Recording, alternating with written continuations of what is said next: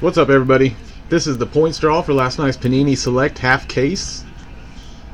Altogether, we had an MVP wild card, 250 point cards, and a 250. As you guys know, any team that does not receive a top loaded card is eligible for points or that wild card.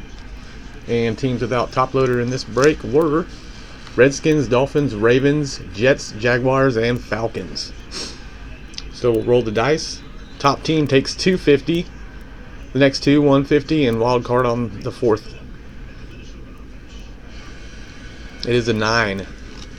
Nine times. Here we go. One, two,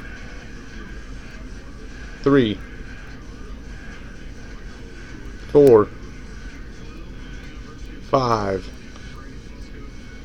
six, seven,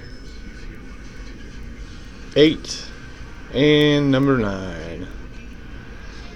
All right, Falcons 250, Dolphins Jets 150, and the Redskins get the wild card. That'll do it. Hope you guys have a great rest of your weekend. Come and see us on Wednesday. We'll see you next time.